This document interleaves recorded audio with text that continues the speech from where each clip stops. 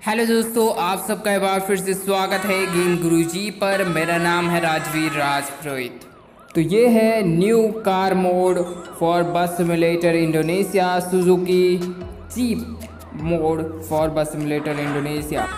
तो अगर आप हमारे चैनल पर नया है तो मेक श्योर आप चैनल को सब्सक्राइब कर दीजिए और साथ ही साथ बेल आइकन पर क्लिक करके ऑल को सिलेक्ट कर दीजिए, ताकि आपको रेगुलर अपडेट हर रोज़ मिलता रहेगा हमारे चैनल का।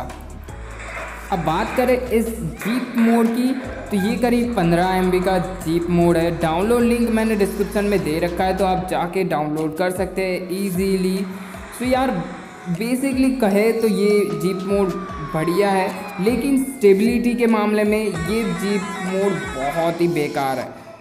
क्योंकि लुक वाइज ये बेहतर है, लेकिन स्टेबिलिटी वाइज बहुत ही घटिया है। यहाँ पर आपको ड्राइविंग के दौरान आपको देखने को मिल जाएगा। और यार बहुत सी डिफ़िकल्टी आपको आएगी क्योंकि ये जो है जीप मोड नहीं, ये बाइक मोड समझ लो। मतलब यार कई बार ये सिर्फ़ दो टायर पर चलेगा। इतना ख़तरनाक सा ये जीप मोड है, देख लीजिए आप। तो यार डेमो के साथ सारी चीज़ें आपको बताता हूँ मैं। अब बात करें इंटीरियर की। बेसिकली इंटीरियर बहुत ही भद्दा सा दिया गया है। वैसे यार, बाहर से लुक बढ़िया है, लेकिन अंदर बहुत ही घटिया इन्होंने इंटीरियर दिया है। मैं तो देख सच्चाई के साथ हरदम रहता हूँ। तो सच बोलो तो यार इंटीरियर में मुझे तो मज़ा नहीं आया। अब यार, यहाँ पर टर्निंग के टाइम आपने देखा कि क्या हुआ?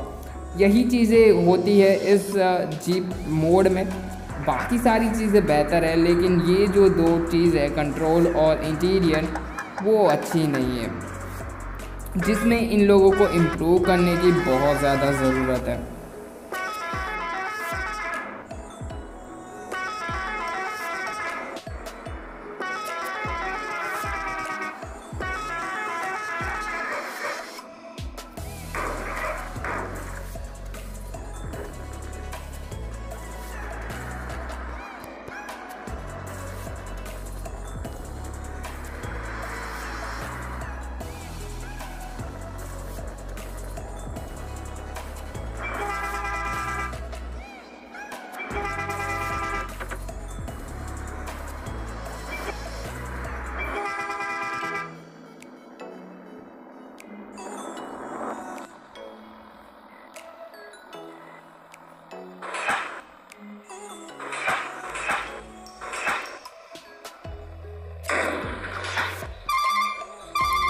तो अब देखते हैं इसका एनिमेशन की। कौन सा टाइप का एनिमेशन की है?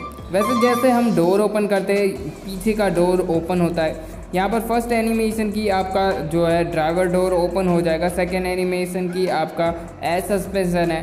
और थर्ड एनिमेशन की आपका जो टायर एक्स्ट्रा टायर होगा, वो नीचे चला जाएगा अंडरग्राउंड पता नहीं ये नीचे क्यों जाएगा। आई डोंट नो तो यार, अब आप ड्राइविंग का मज़ा लीजिए। और लाइक ज़रूर कीजिए वीडियो को। लाइक से आपका सपोर्ट मिलता है। कमेंट ज़रूर कीजिए कि कैसा लगा आपको ये रिव्यू सो इन्जॉय